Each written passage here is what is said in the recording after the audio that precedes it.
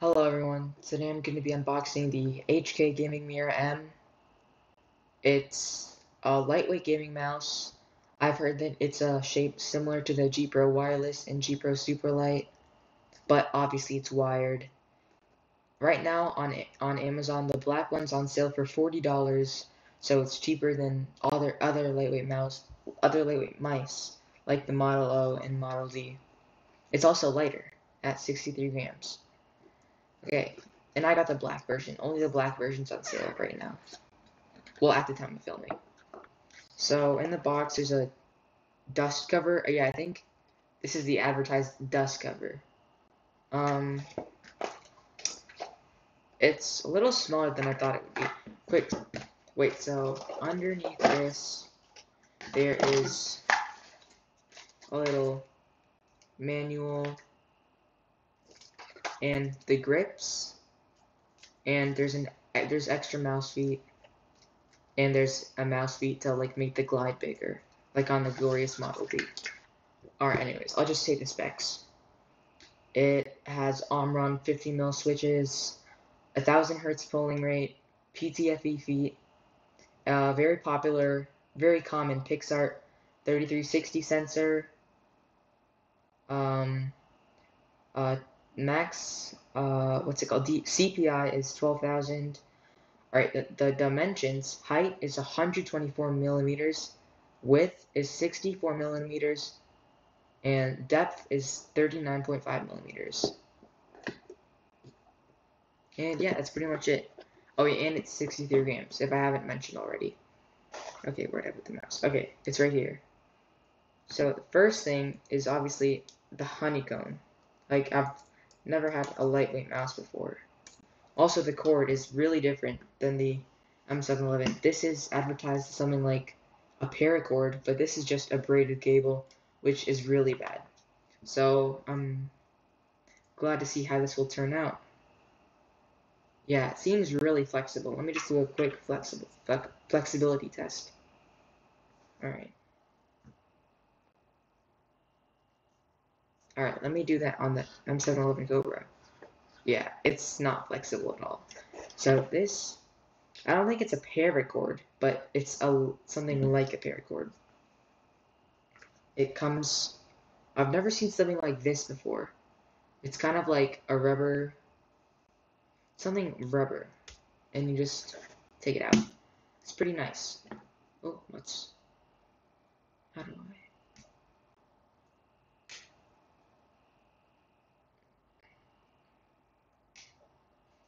I guess you have to slide it out through the... How do you take this out?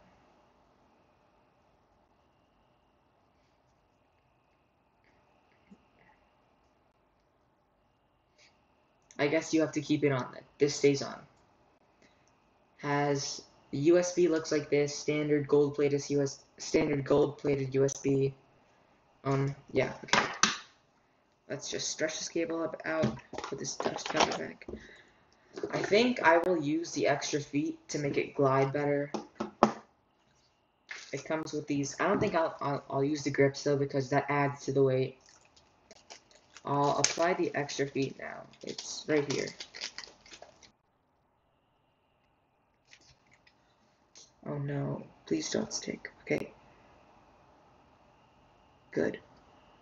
Alright, that's better. The feet are quite smooth.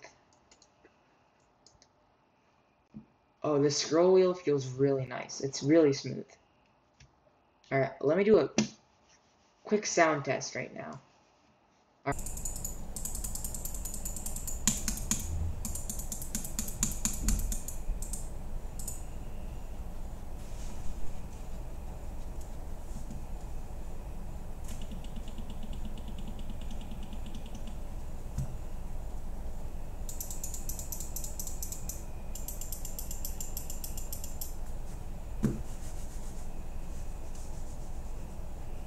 This mouse feels really comfy for, I do a palm grip. It's like a hybrid palm grip, so it, that's pretty much a palm grip. Yeah, actually on this mouse, it's really comfortable. Just like, there's a lot of support in the arch. It's just let's compare this to my M711 Cobra.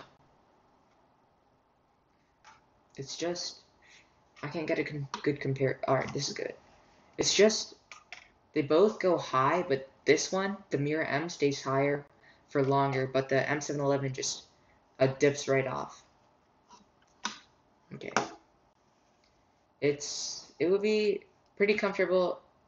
I'm not sure about fingertip and claw. I don't really know how to go into fingertip and claw, but it should be fine. So, to download the software, you just go to search up HK Gaming Mira M software. You go click on this first link, and you scroll down this one, Mira S, Mira M, and click download. I've already downloaded it. I've downloaded it right here. And this is what it looks like. Yeah, so you can obviously reprogram the buttons, macro, you can assign macros. Um, I'm not going to do that right now. I don't know.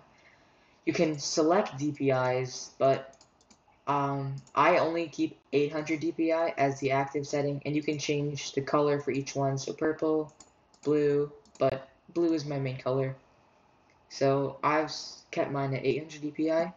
Lighting, uh, neon. You can have steady or just off. There's not too many options. And there's barely any RGB on the mouse, but I don't think anyone really cares about RGB on their mouse. Okay, mouse parameters. There's scrolling speed, mouse sensitivity, double click speed. So I'm interested to I'm interested to see how this will do in Minecraft. Mm, I'll just keep it in the middle right now. Lift off distance, obviously keep that as low. Debounce time, if you're playing Minecraft, keep it low. If you're not, keep it around 8 or 10. That's my opinion, but I'll just keep it 4 for right now. And yeah, that's the software.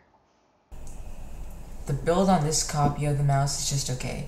The buttons have a bit of side to side play, they wiggle a lot. It's it's not really that good. That's pretty bad. And sometimes this even squeaks when it wiggles, so I'm not sure if I got a bad copy or if all copies are like this. Also, I noticed that this this kind of goes in when you press it. Uh, it's kind of loose down here. It's not that bad, but just something I thought. Oh, and here's the sound test for when it creaks. Yeah, it's kind of squeaking. It's really annoying. So I think I'm going to ask Amazon for a replacement. I should get one because it's only been like three days since I bought it. So I'm going to do a CPS test using the keystrokes mod. And I'm going to do butterfly clicking. So, and the mouse parameters, double click speed is fast, and the debounce time is on 4 milliseconds.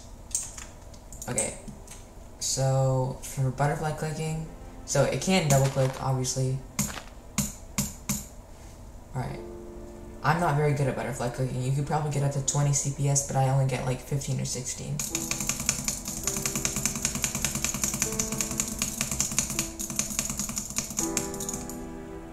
Sometimes I'm able to drag click, but usually not. I can get up to 20 or 25 CPS drag clicking. I know I'm not that good, but I saw someone on Reddit and they said they were able to get 40 CPS drag clicking, which I think is pretty believable. And if you want a tutorial on how to install the keystrokes mod, just let me know in the comments down below because I know I had a really hard time and I, it would be really helpful just to have a like full tutorial.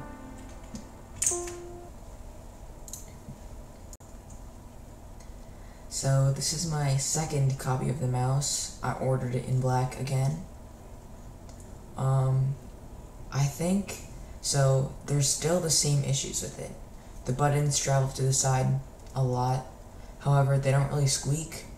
I guess that's a plus. And these, the sides still cave in a bit.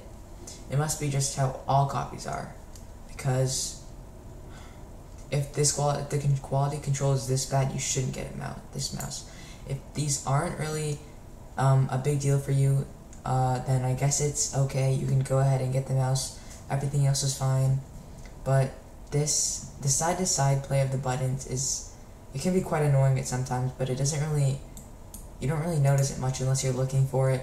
But when you squeeze them out, if you squeeze the mouse hard, you can easily notice that this goes in when you press it. Like, and I'm not sure if I really want to sacrifice quality for light a lighter weight. So I'm not sure if this is gonna be my mouse, my main mouse for a while, or if I'm going to get a new mouse.